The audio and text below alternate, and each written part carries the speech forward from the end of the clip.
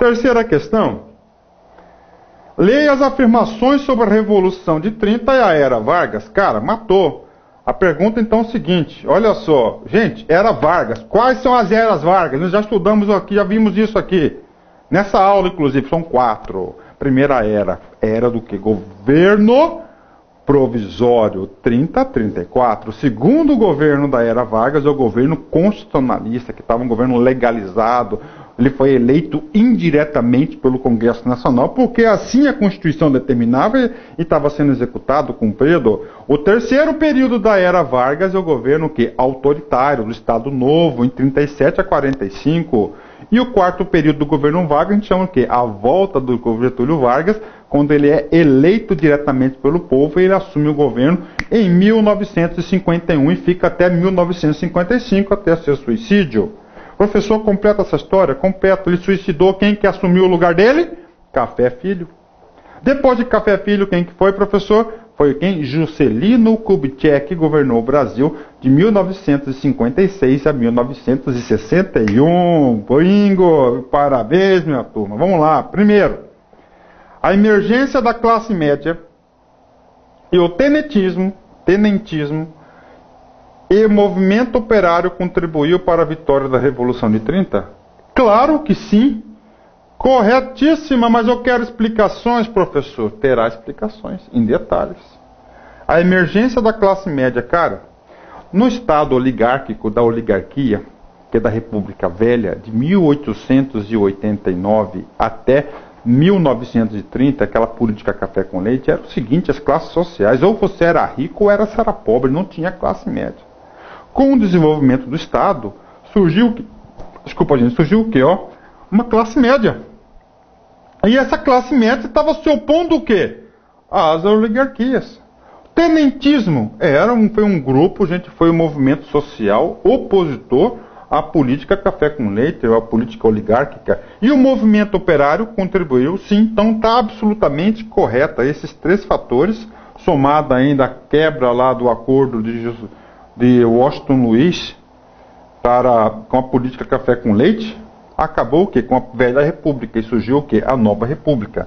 Dois, estados da federação insatisfeito, insatisfeitos, especialmente com a hegemonia de São Paulo, associados a setores econômicos como os chaqueadores, produtores de açúcar, cacau, segmentos industrial, contribuíram para derrubar o Estado oligárquico? Cara, claro, Estado oligárquico é a República Velha. Vamos analisar aqui, ó. Os estados da federação insatisfeitos especialmente com a hegemonia de São Paulo. Cara, vamos entender. O que é a política café com leite? Ficavam trocando. Ora era um presidente de Minas, ora era um presidente de quem? De São Paulo. Quem que foi o último presidente da República Velha? O Washington Luiz.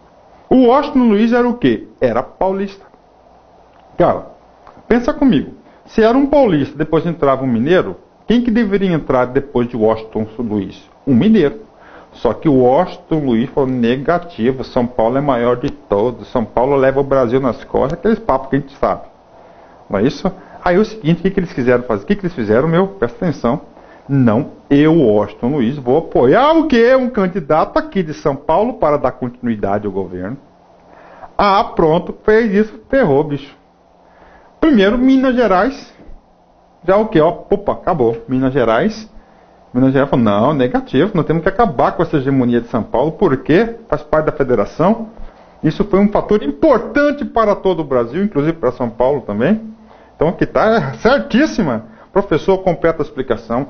Então, quem que, quem que conduziu é a, o golpe de 30? É fácil. Então foi aqui, Minas Gerais, Rio Grande do Sul, terra de Getúlio Vargas, e Rio Grande do Norte. É, para, desculpa, Paraíba. Associados a setores econômicos como os charqueadores, correto, ó produtores de açúcar, cacau, segmentos industriais contribuíram para derrubar o Estado oligárquico. Corretíssima. E a é, São Paulo tinha uma economia baseada no café.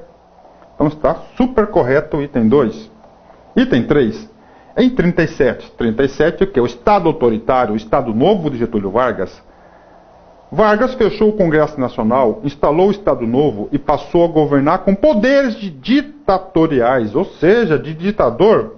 Corretíssimo, por isso que chama governo autoritário. O governo passou a ser centralizador, centralizado, exatamente, o Túlio Vargas adorava uma centralização.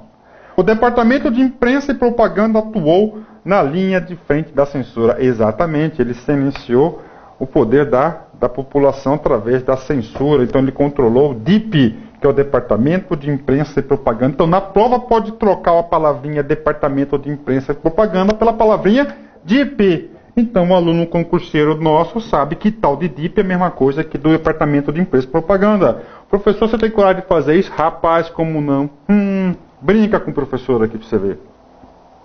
Então, item 3 está o quê? Corretíssima. Item 4 da terceira questão. Entre as realizações da era Vargas, pode-se destacar a criação da Justiça do Trabalho, correto? Quando isso, professor? Em 1942. O salário mínimo, a consolidação das leis do trabalho, além de obras na área de infraestrutura, como Companhia Siderúrgica Nacional. Corretíssima, então, tanto é que Getúlio Vargas é conhecido como o homem do povo. Gente, já pensou, como falei para você, o povo adorava Getúlio Vargas, cara. Adorava, amava, homem do povo. Você já pensou que você trabalhava 60 horas por semana, você não tinha descanso semanal remunerado, você não tinha nada. Um cara fala, não, você vai trabalhar agora 44 horas, você vai ter direito a salário mínimo, você terá direitos. Cara, o cara vai ser o quê? Amado. E todo mundo sabe que Getúlio Vargas, que fez a reforma trabalhista no Brasil, muito bem sucedida, que até hoje está em vigência. Questão quarta. Quarta questão.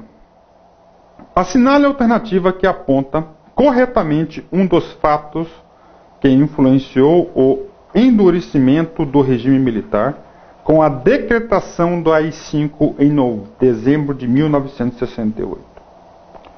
Assinale a alternativa que aponta corretamente um dos fatos que influenciou o endurecimento do regime militar com a decretação do AI-5 em dezembro de 1968. Cara, vamos lá, papo reto com vocês. Primeiro, o que, que, é o tal do AI-5? É um código militar? Não, professor.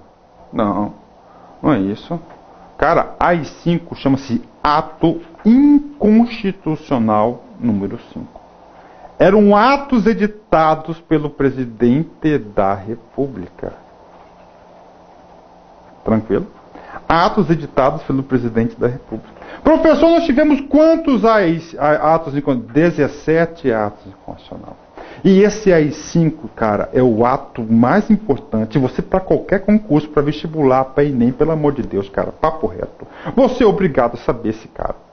Cara, esse AI-5, ele, ele, ele, ele limitou as garantias e os direitos individuais da sociedade. Foi o mais traumatizante ato inconstitucional. E o mais famoso de todos. Cara, aconteceu quando? Em 68. Por que, que o governo militar fez isso? Porque ele estava achando que tava, o país estava perdendo o controle do país pela, pela greves, é, greves, que é mais questão de greves, é, é, movimentos artísticos, a população estava sendo o que? Conduzida erroneamente contra o regime militar, então ele foi lá e decretou esse AI-5 lá, concedendo. Vamos lá. Primeiro, o comício do presidente João Goulart na Central do Brasil. Parou. O João Goulart fez um fez um comício na Central do Brasil, professor? Claro que fez. Professor, o João Goulart fez o comício quando? Anotem, Central do Brasil, isso pode cair na sua prova no dia 13 de março de 64. O golpe militar ocorreu quando, prof? O golpe militar ocorreu no dia 31 de março de 64. Então, gente, esse e o golpe, esse esse esse comício de João Goulart na Central do Brasil, ele chegou lá e falou o seguinte, ó: Agora eu vou promover a reforma agrária todas as terras improdutivas durante BRs, não sei o que, açude, vão ser desapropriadas para a reforma agrária. Eu vou nacionalizar as empresas estrangeiras de petróleo. Pronto, criou-se o caos. Os regimes militares estavam, não, aqui vai criar um caos, o cara está montando aqui o que? Um regime comunista.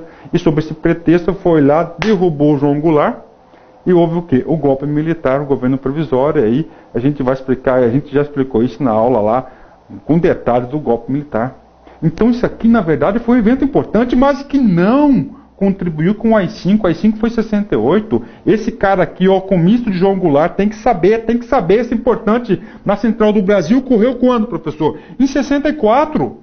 Isso aqui é um tipo de coisa que você tem que saber, inclusive, o dia. 13 de março de 64. Professor, onde que estava João Goulart em 68? Ele estava exilado. Ele estava exilado. Ele foi exilado, não estava no Brasil.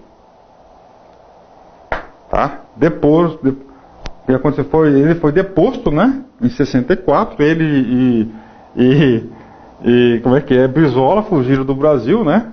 Do golpe militar e estavam exílio nessa época aqui. B. Então a letra A está o quê? Incorreta. Não tem nada a ver o fato de AI-5 com isso aqui. B. Nacionalização de empresas norte-americanas pelo governo do Rio Grande do Sul. Errada, gente.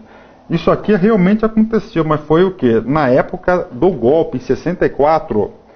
C. Fechamento da, da empresa aérea Painar do Brasil. Paz, tem nada a ver uma coisa com outra. D.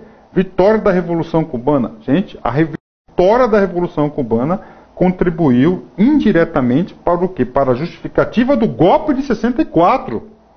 E com as medidas de João Goulart lá na Central do Brasil, bom, pronto, Agora que esse João Goulart vai fazer a mesma coisa que fez lá o Fidel Castro, cara. A vitória da Revolução Cubana, vamos chamar de revolução, o povo vai apoiar, pronto, acabou.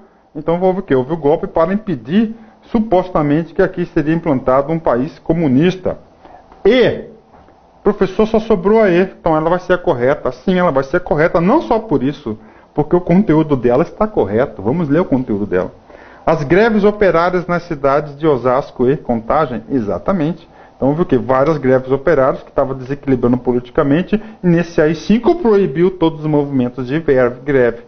Proibiu inclusive esse direito de reunião, esse direito de reunião que é consagrado como um direito fundamental no nosso artigo 5 da Constituição. Suspendeu é, esses artigos. Então a alternativa correta, a letra D, a, a questão 4 é a letra E. E de Eva. Ah, pronto. Quinta questão. Funesp, PM de São Paulo 2010. Os, os festivais da canção, realizados em fins dos anos 60 pelas emissoras de televisão, especialmente da Record e da Excelsior, foram importantes do ponto de vista social e político, pois, olha só, os festivais da canção realizados nos fins dos anos 60 pelas emissoras de televisão, especialmente a Record e a Excelsior, foram importantes do ponto de vista político e social. Ok. Certinho, gente. Cara, final da década de 60, 68 69, já tinha um tal do AI-5, cara. O AI-5 proibia toda e qualquer manifestação contra o regime. Então, o seguinte, o povo se viu através da música fazer o que, gente? Oposição ao regime militar. Oposição a essa a situação posta naquele momento. Pronto, matou a questão, professor. Exatamente. Então, através das emissoras, né, ele aproveitou essas festivais de canção, o povo, para quê? Para se expressar uma forma de contestar o movimento, contestar o regime, é, regime autoritário ditatorial. Vamos lá. Do ponto de vista social e político, pois Funcionaram como veículos de propaganda política do regime militar no intuito de propagar o patriotismo errada. Negativo, o povo que fazia as músicas festivais era música de protesto do regime. B. Tornaram-se expressões, tornaram-se expressão de contestação dos movimentos sociais, especialmente do estudantil. Very good. Letra B de bola. Exatamente, ó foram importantes do ponto de vista social e político, pois tornaram-se expressão de contestação dos movimentos sociais, especialmente do estudantil. Corretíssima. C. Levaram compositores como Caetano Veloso, Gilberto Gil a aderir à luta armada contra o regime militar. Meu Deus do céu. O que está falando na letra C? Caetano Veloso, Gilberto Gil, o cara pegaram na metralhadora, na arma, no fuzil para lutar contra o regime militar. Errado. Eles eram contra o regime e expressavam isso através da sua música, da sua arte. Nada a ver com reforma armada. Tá errada essa questão, tem nada a ver com reforma armada, tá errada. Olha, esse aqui tava fácil, né? Aderir à luta armada. Então isso aqui, olha, a luta armada que deixou a questão ser errada. D.